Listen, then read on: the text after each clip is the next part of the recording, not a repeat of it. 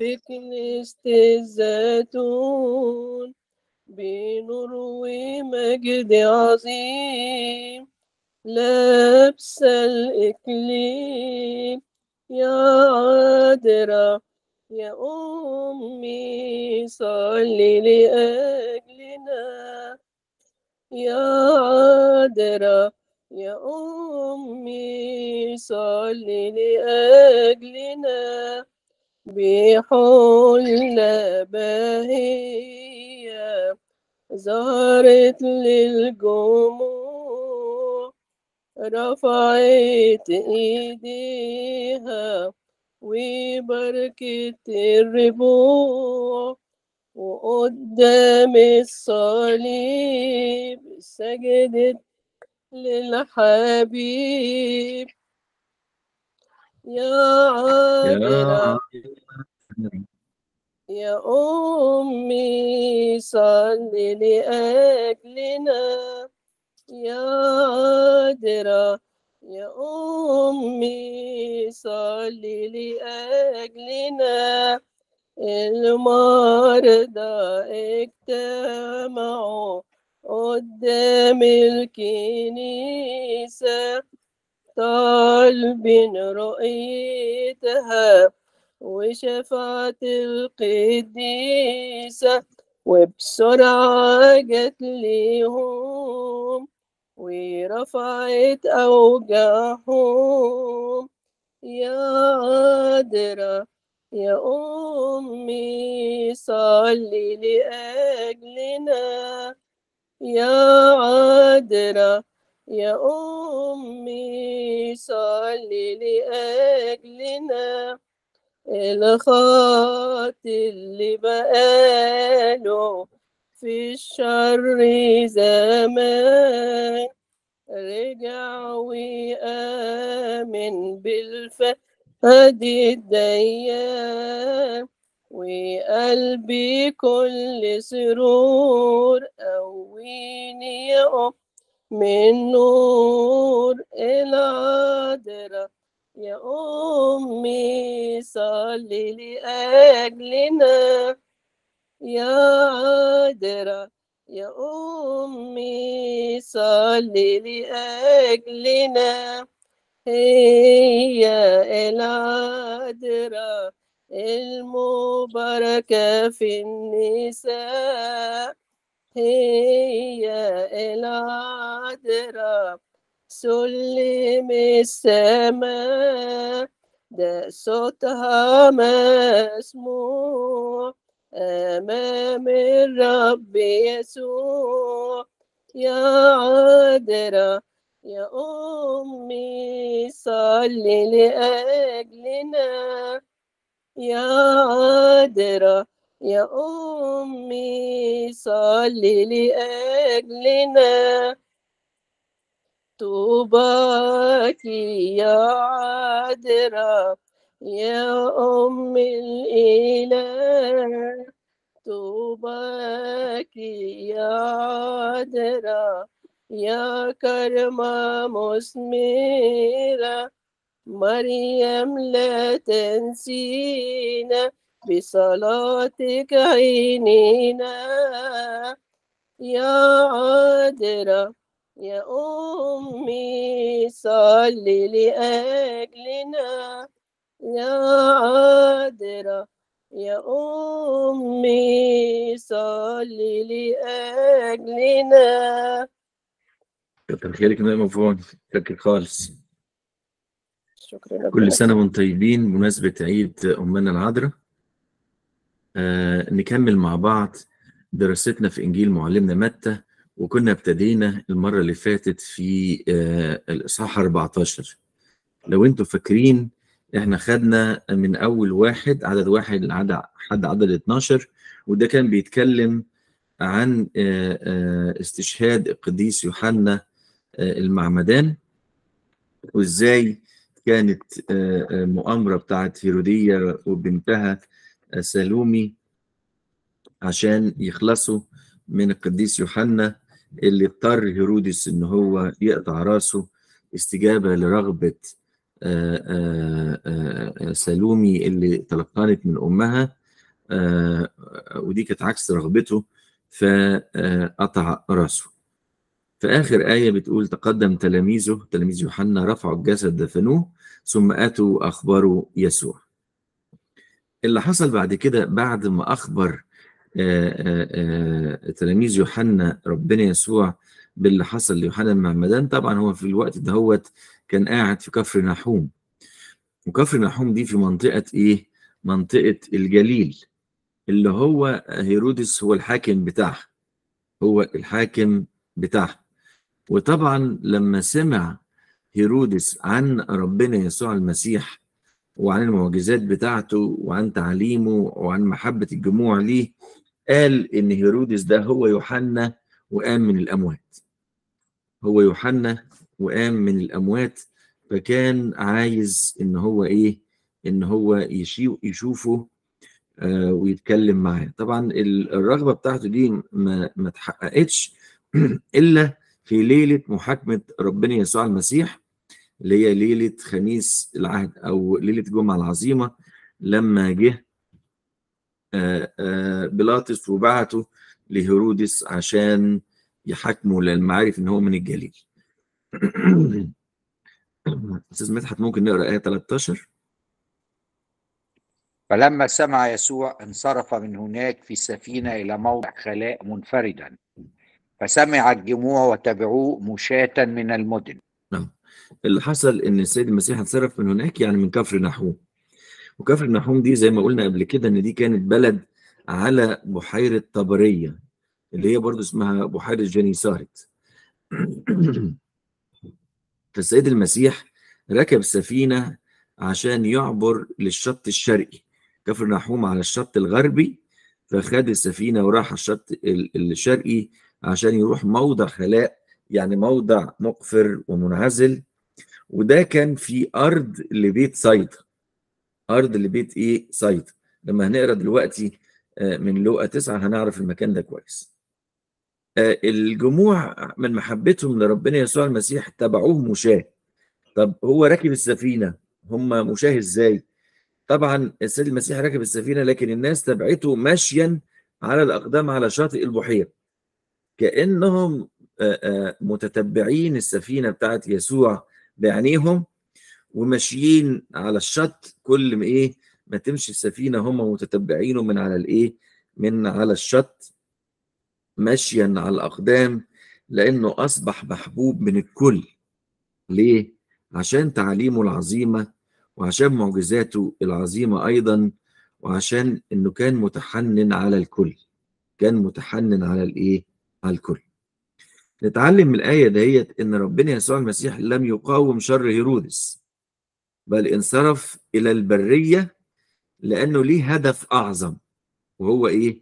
إتمام الفداء وطبعا انصراف ربنا يسوع المسيح لموضع خلاء ما كانش خوف منه لكن كان حكمة كنائب عنا وإحنا اتكلمنا في الموضوع ده أيام إرسالية الرسل وقلنا تعليقا على الآية اللي بتقول. فإن طردوكم من مدينة فهربوا إلى أخرى. وقلنا إن ال- الهروب آه، مش غلط لكن في بعض الأحيان بيبقى في آه، آه، ناس ليهم دعوة للثبات ولأن هما ما يهربوش. لكن الهروب من الشر مش غلط لكنه يعني حكمة عملها ربنا يسوع المسيح في صغره وفي كبره أيضا. في صغره هرب من هيرودس الكبير وذهب إلى أرض مصر وفي آه، آه، آه، خدمته برضه ترك أرض الجليل اللي هيرودس الابن كان بيحكمها. طبعا ذهاب ربنا يسوع المسيح لموضع خلاء ده يعلمنا حاجة جميلة جدا وحاجة مهمة لينا كلنا يا ريت كل واحد فينا يعملها اللي هي الخلوة الخلوة والهدوء. العالم اللي إحنا عايشين فيه أحبائي عالم يتميز بالسرعة والمشغولية والكركبة. حاجات كتيرة على دماغنا يوم بعد يوم بعد يوم بعد يوم. فاحنا محتاجين خلوة وهدوء خلوة وهدوء. طبعا الخلوة والهدوء دي في حياة أولاد الله شيء مهم جدا لأنها فرصة إن الإنسان يمتلي فيها. يمتلي امتلاء روحي. فرصة إن الواحد فينا يراجع نفسه. فرصة إن الإنسان فينا بعد ما يراجع نفسه ينطلق في الخدمة وأعمال الخير. طبعا الانطلاق والانفراد آه، آه، بتاع الخادم مع ربنا بيجذب النفوس إليه وينمي الخدمة. يجذب النفوس إليه وينمي الخدمة زي ما حصل مع ربنا يسوع المسيح. الخادم الممتلئ محتاج خلوة والخادم اللي يروح خلوات بيمتلئ فيجذب الناس إلى آه، آه، ربنا يسوع المسيح. بعد كده هيكلمنا على معجزة إشباع الخمس ألاف بالخمس خبزات والسمكتين. المج... المعجزة دهيت هي المعجزة الوحيدة المعجزة الوحيدة اللي الأربع أناجيل ذكروها. المعجزة الوحيدة اللي الأربع أناجيل ذكروها وطبعا لأهميتها. طبعا لإيه؟ لأهميتها. خلينا كده نقراها من إنجيل متى وبعدين ناخدها من مرقس ولوقا ويوحنا. بس ركزوا معانا. أستاذ مدحت ممكن من 14 ل 21 فلما خرج يسوع أبصر جمعا كثيرا فتحنن عليهم وشفى مرضاهم. ولما صار المساء تقدم إليه تلاميذه قائلين الموضع خلاء والوقت قد مضى. اصرف الجموع لكي يمضوا إلى القرى ويبتاعوا لهم طعاما. فقال لهم يسوع لا حاجة لهم أن يمضوا أعطوهم أنتم ليأكلوا. فقالوا له ليس عندنا هنا إلا خمسة أرغفة وسمكتان. فقال ائتوني بها إلى هنا. فأمر الجموع أن يتكئوا على العشب ثم أخذ الخمس أرغفة الخم... ثم أخذ الأرغفة الخمس والسمكتين ورفع نظره نحو السماء وبارك وكسر وأعطى الأرغفة للتلاميذ والتلاميذ للجموع.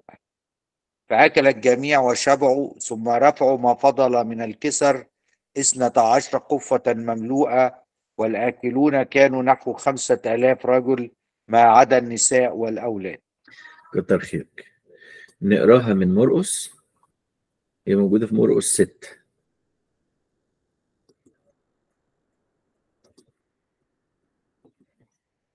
من عدد 30 ل 44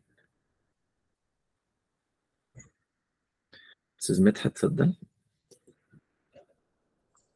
واجتمع الرسل إلى يسوع واخبروه بكل شيء كل ما فعلوا وكل ما علموا. فقال لهم تعالوا أنتم منفردين إلى موضع خلاء واستريحوا قليلا لأن القادمين والذاهبين كانوا كثيرين ولم تتيسر لهم فرصة للأكل. فمضوا في السفينة إلى موضع خلاء منفردين. فرآهم الجموع منطلقين وعرفه كثيرون. فترقدوا إلى هناك من جميع المدن مشاة وسبقوهم واجتمعوا إليه. فلما خرج يسوع رأى جمعا كثيرا فتحنن عليهم. إذ كانوا كخراف لا راعي لها.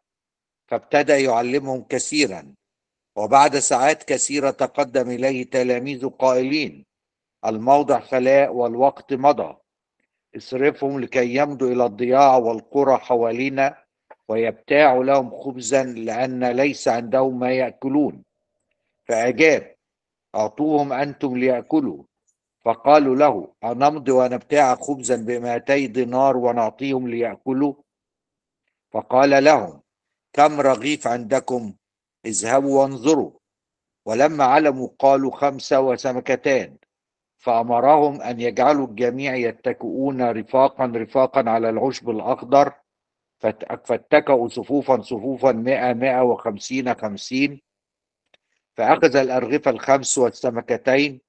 ورفع نظره نحو السماء وبارك ثم كسر الأرغفة وأعطى تلاميذه ليقدموا إليهم وقسم السمكتين للجميع فأكل الجميع وشبعوا ثم رفعوا من, من الكسر اثنة عشر قفة مملوءة من السمك وكان الذين أكلوا من الأرغفة نحو خمسة آلاف رجل. كتر خيرك. هنا في تفاصيل أكتر زي ما أنتم شايفين وفي إنجيل لوقا هنلاقي في تفاصيل أكتر برضه. موجودة في لقا تسعة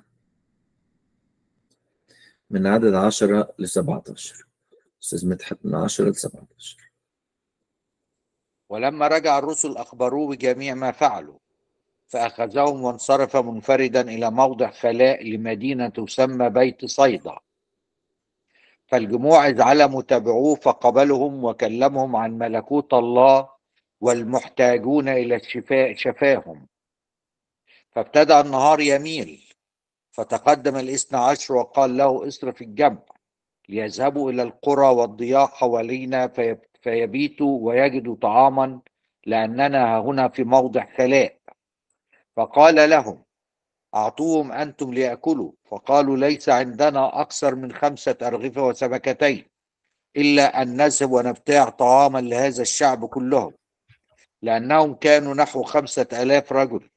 فقال لتلاميذه اتكؤوهم فرقا خمسين خمسين. ففعلوا هكذا واتكأوا الجميع. فأخذ الأرغفة الخمس والسمكتين ورفع نظره نحو السماء وباركهن ثم كسر وأعطى التلاميذ ليقدموا للجمع. فأكلوا وشبعوا جميعا ثم رفع ما فضل عنهم من الكسر اثنة عشر قفة. كتر خيرك. آخر إنجيل اللي هو إنجيل لمعلمنا يوحنا. ستة ده في يوحنا 6 1 ل 14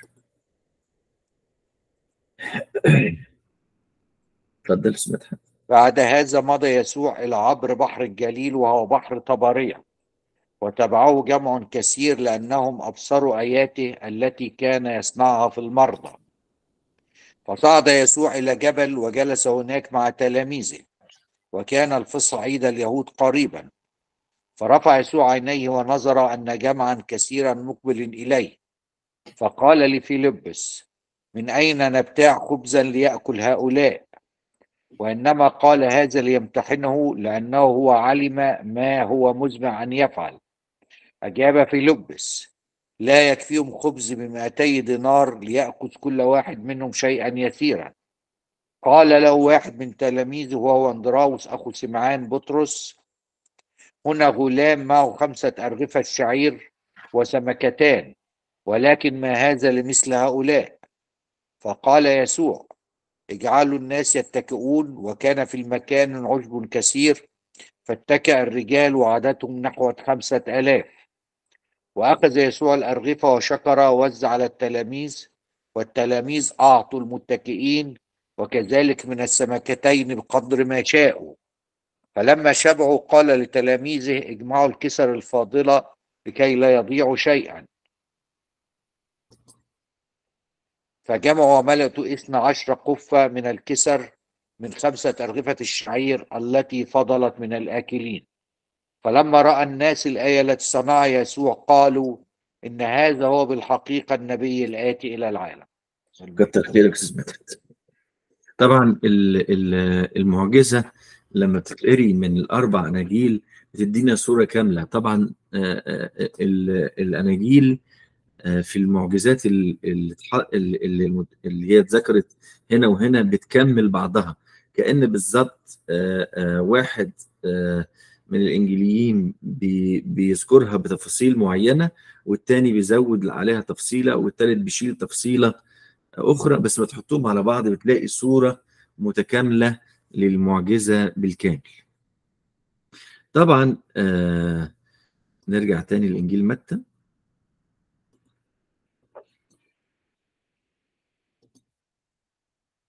طبعا الحادثة هنا بعد ما آه آه أستشهد القديس يوحنا المعمدان ربنا يسوع المسيح خد بعضه وقال أنا عايز إيه انفرد. لكن الناس ما سابتهوش. خرجت إيه خرجت وراه. فبيقول فلما خرج يسوع أبصر جمعا كثيرا. خرج يمكن يكون خرج من السفينة أو خرج من الإيه من الخلوة بتاعته. لما راح الجبل في بيت سيدة خرج لقى إيه لقى جموع وآلاف آه، آه، واقفة قدامه. شاف جمع كثير وهي الجموع اللي وصلت تباعا من مدن وقرى الجليل وزي ما إنجيل من الأناجيل يقول إيه؟ يقول إنهم خرجوا مسرعين يعني إيه؟ جري ورا ربنا يسوع المسيح بالآلاف. وده العدد اللي اللي وصلوا له 5000 من الرجال دون النساء والإيه؟ والأطفال يعني تقدروا تقولوا 5000 عيلة 5000 عيلة. شافهم ربنا يسوع المسيح تحنن عليهم ويقول لنا آه، قديس مرقس زيادة عن الحتة دي لأنهم كانوا كغنم بلا راع. كانوا كغنم بلا راع.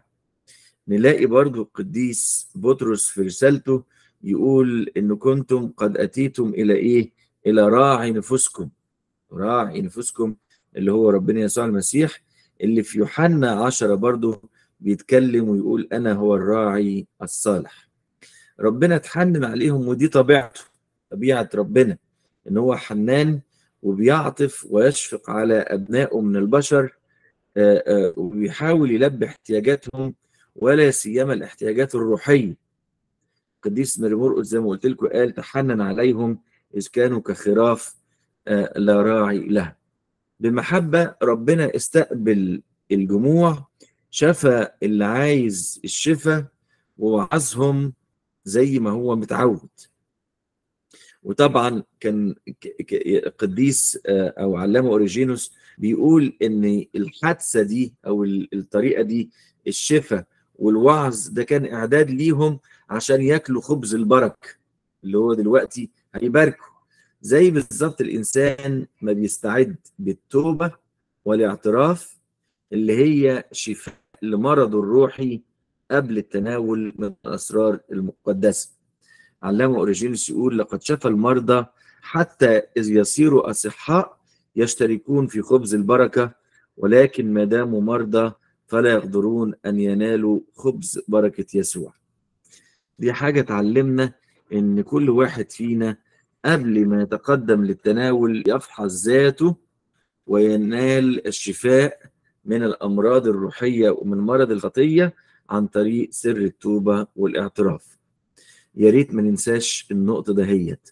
ما ننساش إن إحنا دايما محتاجين إن إحنا آآ آآ نمارس سر التوبة والإعتراف قبل إيه ما نتناول زي الواحد فينا ما بيهتم إن يستعد من الخارج بالنظافة الشخصية وباللبس عشان يحضر القداس الإنسان أيضا من الداخل يستعد بالنظافة الداخلية من أي خطية بسر التوبة والاعتراف. يكمل بعد كده ويقول ولما صار المساء تقدم إليه تلاميذه طبعا خلي بالكم قدام شوية هنلاقي في عدد 23 يقول إيه؟ يقول وبعدما صرف الجموع صعد إلى الجبل منفردا ليصلي ولما صار المساء كان هناك واحد هناك واحد طب هنا في مسائين ولا إيه؟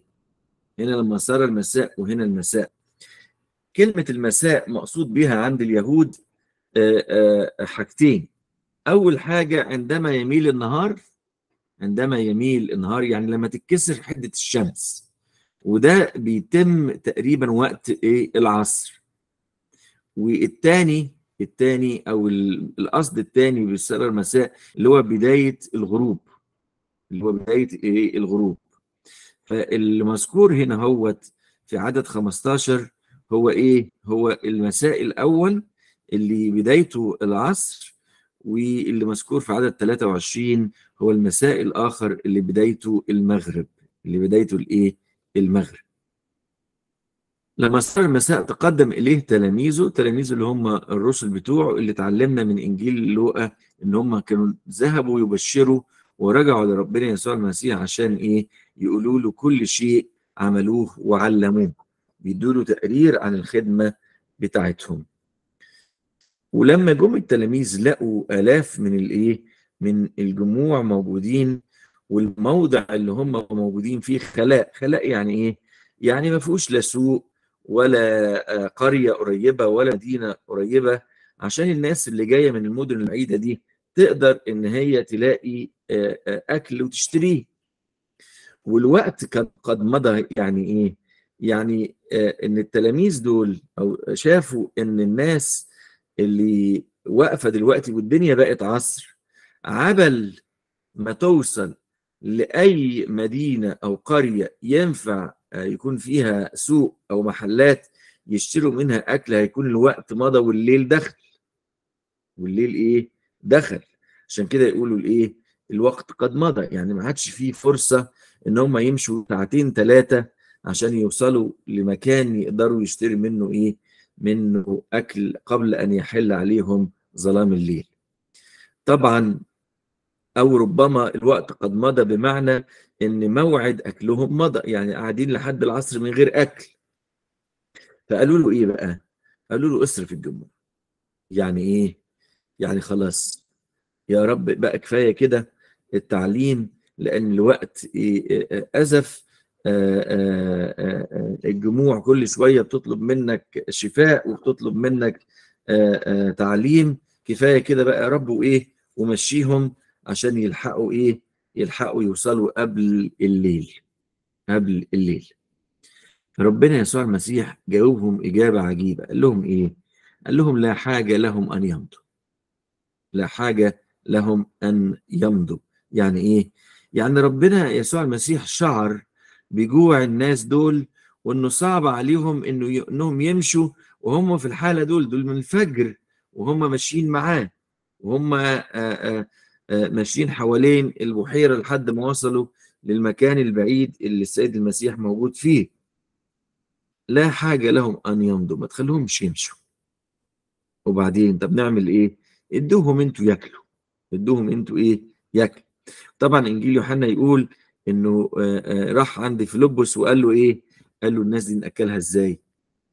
فقال له يعني ده ولا ولا 200 دولار 200 دينار خبز يكفيهم عشان كل واحد بس ياخد كسرة صغيرة. فبعد الكلام ده ما وصل لإندراوس قال له إيه؟ قال له في غلام صغير معاه إيه؟ معاه خمس خبزات وسمكتين وواحد من الإنجليين يحدد الدقيق اللي معمول منه الخمس خبزات يقول إنهم كانوا خمس خبزات من الشعير من الشعير. السيد المسيح قال لهم ادوهم أنتم إيه؟ ليأكلوا. يعني إيه يا رب؟ يعني يا جماعة يا تلاميذي يا خداني دي مسؤوليتكم أنتم عن هذا الشعب. خد المسؤولية. خد الإيه؟ المسؤولية. السؤال ده هو بيتكرر كتير. ليه طلب السيد المسيح من تلاميذه إنهم يدوهم ياكلوا رغم إن هو عارف إن هم معهمش أكل ولا عندهم حتى إمكانية إنهم يشتروا للناس دي أكل؟ يا رب ما أنت عارف. ما أنت عارف إن إحنا ماشيين وراك ولا عندنا مصدر للدخل ولا مصدر للرزق. ده إحنا بناكل من عطف الناس عليك وعلينا. هنشتري إزاي للناس دول يا رب؟ ما أنت عارف أنت تعلم كل شيء. طبعا بعض المفسرين يقولوا إجابة على هذا السؤال يقولوا إن السؤال ده هو اللي سأله ربنا يسوع المسيح للتلاميذ أراد بيه إنه يكشف لهم عن ضعف إمكانياتهم. عايز أقول لهم دوروا كده هتلاقوكم ما عندكوش حاجة. أنتوا ضعفاء. ليه؟ عشان لما الخادم يلاقي ويحس بضعف إمكانياته يبتدي إن هو يطلب من ربنا إن هو يضرم المواهب الروحية فيه. يطلب من ربنا يا رب أنا غلبان ما عنديش لكن شعبك عايز ومحتاج. أيضا قال لهم السؤال ده عشان يخليهم يقدموا ليه أي شيء عندهم مهما بدا قليلا وعاجزا عن الإشباع. يعني إيه؟ يعني دور لي معاك كده على حاجة دور لي على أي حاجة تنفع فيك أيها الخادم.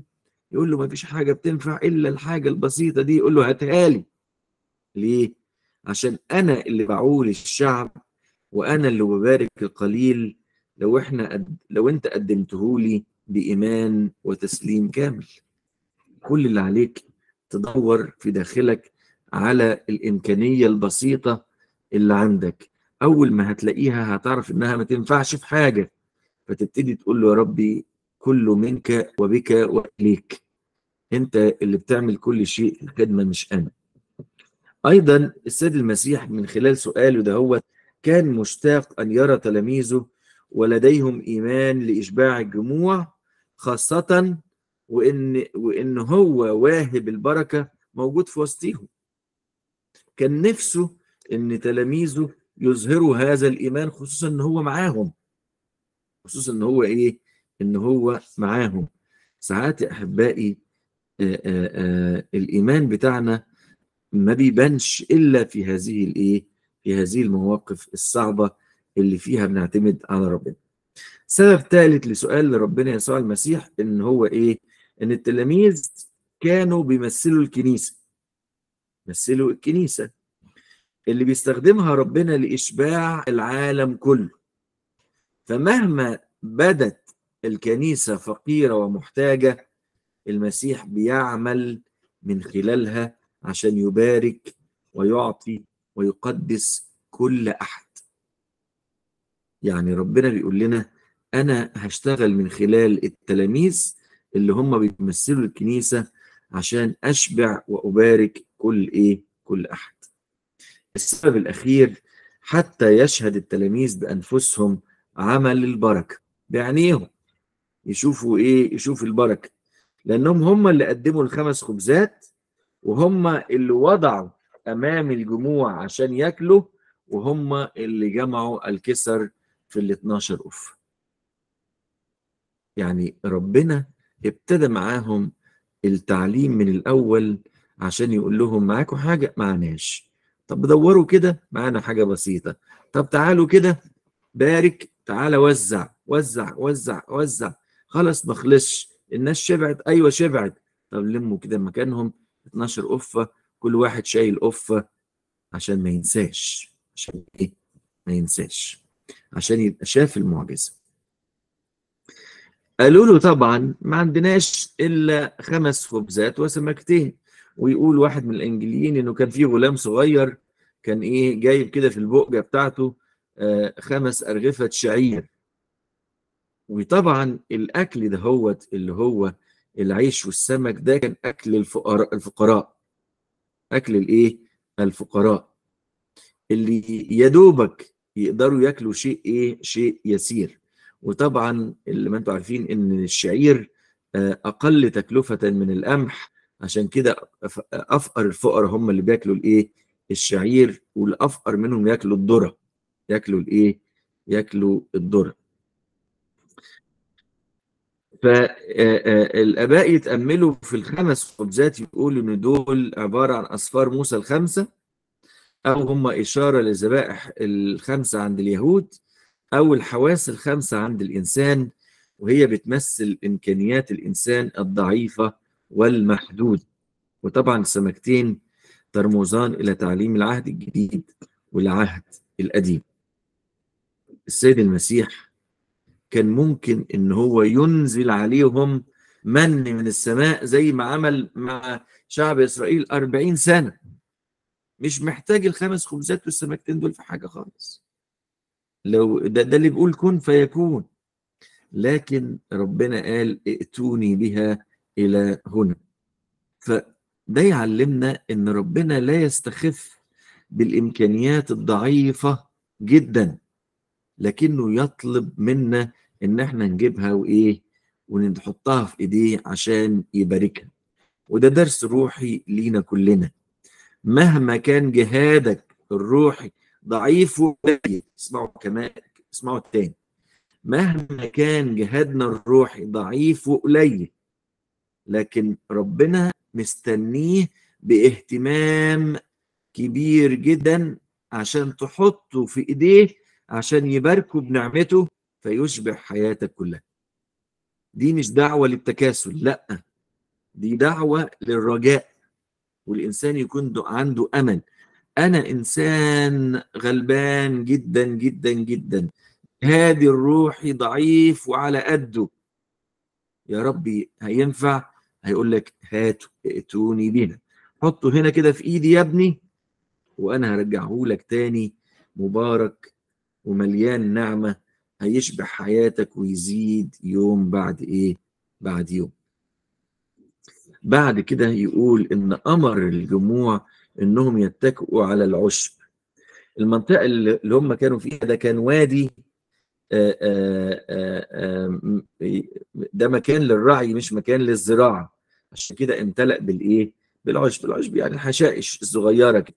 طبعا كان عندهم سجاجيد ولا ترابيزات ولا شوك ولا سكاكين ولا الكلام ده كله خالص. كله يقعد على الأرض كده ويقول آه، إنجيل آه، آه، معلمنا آه، مرقس ومعلمنا آه، يوحنا إنهم خلوهم يقعدوا إيه؟ يقعدوا مجموعات 100 100 و50 50 ترتيب هنا وتنظيم.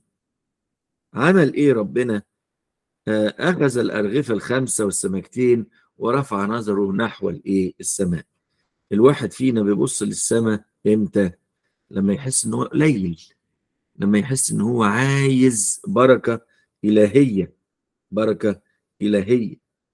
فعشان كده يقول إيه؟ يقول إن هو آه، نظر إلى السماء. بارك وكسر. طبعا حجم ال- الرغيف كبير ودايما كان جاف يعني الرغيف عيش جاف ناشف يعني. فربنا كسره عشان يقلل من فضلات الخبز بعد الأكل. قطعه حتت صغيرة عشان كل واحد ياخد حتة وإيه؟ وما يهدرش يعني. وكلمة بارك هنا يعني شكر أو حمد. بارك يعني شكر أو إيه؟ أو حمد. البركة اللي حصلت هنا إما إنها تكون بعودة المكسور يعني كل ربنا يسوع المسيح ما يكسر حتة من الرغيف ويديها للتلاميذ عشان يوزعوا في حتة تاني تيجي مكانها أو ويجي ربنا يسوع المسيح يكسر تاني وتالت أو إن هو كل ما يمد إيده في الكيس اللي فيه الخمس خبزات ويطلع منه يلاقي. يطلع منه إيه؟ يلاقي آه، آه، خبز وسمك آه، بعد إن هو مباركة آه، تكاثروا. تكاثروا. أو بأي طريقة أخرى. أو بأي طريقة أخرى. ف اللي اللي بيقولوا الإنجيل إنهم قعدوا ياكلوا ياكلوا ياكلوا ياكلوا لحد إيه؟ لحد ما شبعوا. يعني التوزيع التوزيع استمر حتى أكل الإيه؟ أكل الجميع. عشان كده نتعود وتعلمنا إن النعمة تنمو باستخدامها. النعمة تنمو باستخدامها. الإنجيل يقول النفس السخية تسمن. النفس السخية تسمن. والأنبأ إبراهيم أسقف الفيوم والجيزة يقول لك إيه؟ لا حزن ولا عزن. كل ما بتطلع كل ما ربنا بيدي. كل ما بتطلع كل ما ربنا بيدي. كل ما بتكنز وتقول لأ خلينا نجمع نجمع نجمع نجمع وبعدين نبقى ندي بعد كده ما تلاقيش فيه بركة. البركة مع التوزيع. البركة مع الإيه؟ مع التوزيع. بعد ما بارك المسيح ربنا الطعام جعلهم يجلسون في هدوء ورفع عينه للسماء عشان يعلمهم ويعلمنا الصلاة قبل الأكل لنطلب بركة إيه؟ بركة ربنا. إحنا في أكلنا دايما نقف كده هوت قبل ما ناكل قبل ما نمد إيدينا نبص للسماء ونصلي ونشكر ربنا على عطيته ونطلب منه إنه يبارك الطعام. يبارك الإيه؟ الطعام. طبعا اللي وزع التلاميذ لكن مين اللي إدى وحط في إيديهم المسيح. عشان كده ليس بوسع الخدام أن يملأوا قلوب الناس ما لم يملأ المسيح أيديهم من بركته اولا. يعني أنت كخادم أو أنت كأب في بيتك أو كأم في بيتك مش هتقدري تملي ولاد قلوب أولادك أو قلوب المخدومين إلا لما المسيح يملأ ايديكي من البركة اولا. البركة إيه؟ اولا.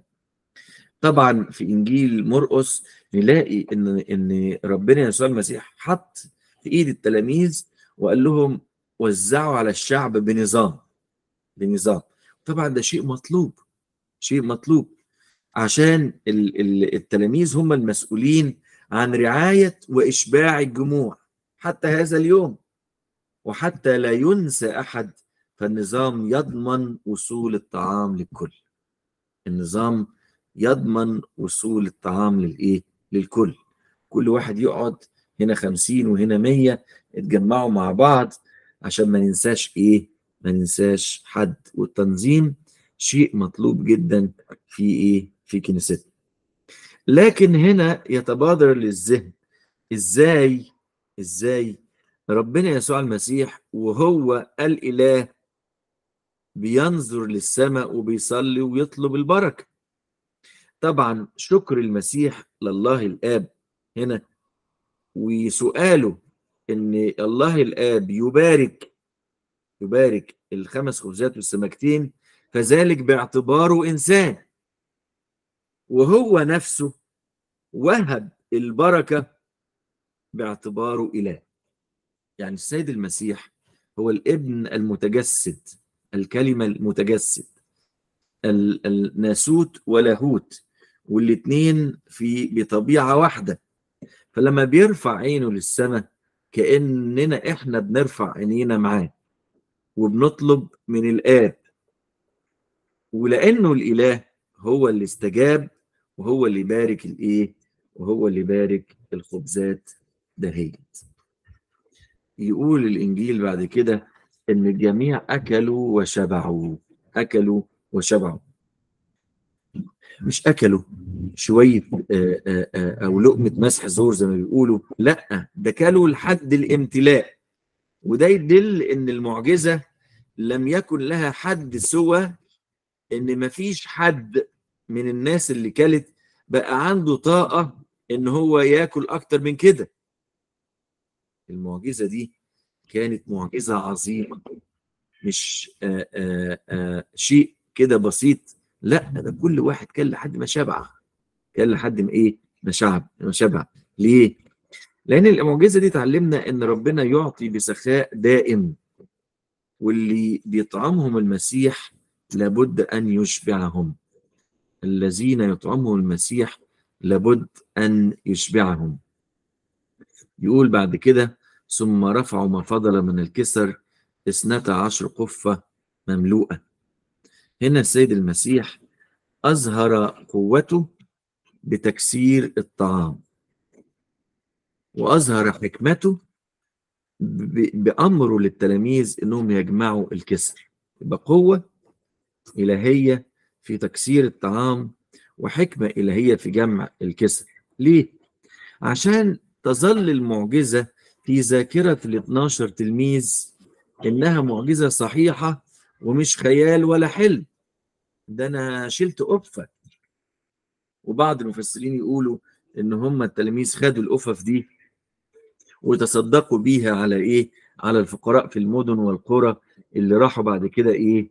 آه يبشروا فيها فحتى تبقى المعجزة في ذاكرة الاثنى عشر إن هي صحيحة مش خيال ولا حلم آآ آآ ربنا أمر إنها تجمع الك- الكسر في 12 أف بالظبط زي في العهد القديم ما ربنا أمر موسى إنه يحفظ قليل من المن في قسط ويحطه في التابوت. يحطه في التابوت عشان ما حدش يجي يقول إيه؟ يقول لأ ده إحنا كنا كنا كان خيال كان حاجة كده بنتخيلها لكن ما كانتش حقيقة. أيضا جمع الكسر يعلمنا احترام وتقدير نعمة الله. احترام وتقدير نعمة الله وأيضا جمع الكسر مهم جدا لإظهار عظمة المعجزة ليه؟ لأنه ابتدى بخمس خبزات وسمكتين لكن انتهى بإيه؟ ب 12 أفة ب 12 إيه؟ ب 12 أف الإنجيل يكمل بعد كده بيقول والآكلون كانوا نحو خمسة ألاف رجل ما عدا النساء والأولاد كلمة ما عدا النساء والأولاد دي ده الوحيد اللي ذكرها مين؟ اللي ذكرها القديس متى؟ فهو ينفرد بهذه التفصيلة. طبعا ما ذكرش النساء والأولاد هنا مش آآ آآ آآ عن إهمال أو عن تقليل من شأنهم لا. ولكن لأنه الراجل باعتباره إن هو رب الأسرة ويعبر عن الأسرة فكأنه كان عايز يقول إنه كانوا خمس تلاف أسرة. كانوا عامل خمس إيه؟ تلاف أسرة. لو عايزين تعدوا تعالوا بقى نعد. دي أسرة فيها خمسة ودي أسرة فيها اتنين دي أسرة فيها ثلاثة لكن كانوا موجودين خمس تلاف إيه؟ أسرة. المقصود من معجزة إشباع الجموع وهي حصلت مرتين. مرة في الخمس خبزات والسمكتين والخمس تلاف ومرة مع الأربع تلاف وكانوا سبع آه، آه، خبزات وقليل من الإيه؟ من السمك. ودي هتجيلنا في الإصحاح 15 من إنجيل متى. فطبعا معجزة إشباع الجموع دي حصلت مرتين بس مرتين مش أكتر من كده. المقصود منها إيه؟ المقصود منها مش إن ربنا يسوع المسيح يأكل الناس خبز ببلاش ولا إن هم يقعدوا من غير شغل طالما المسيح هيأكلهم خبز ببلاش. لا عايز يعلمنا إن السيد المسيح هو الخبز الحقيقي لنفس الإنسان الجائعة. وإن المسيح هو خبز كافي لتغذية كل النفوس إلى الأبد. كل النفوس إلى الإيه؟ إلى الأبد. وإنه عايز يعلمهم أيضا إن بعد قليل أنا هتحول نفسي إلى إيه؟ إلى خبز. عشان كده المعجزة دي مذكورة في أول يوحنا 6 الإصحاح بتاع التناول. عشان يقول لهم إيه؟ يقول لهم أنا هو خبز الحياة. أنا هو خبز آه آه نقف عند هنا وبعدين نكمل إن شاء الله المرة الجاية. آه ولربنا المجد الدائم إلى الأبد أمين. اللي يحب يسأل يتفضل يسأل أو يتأمل.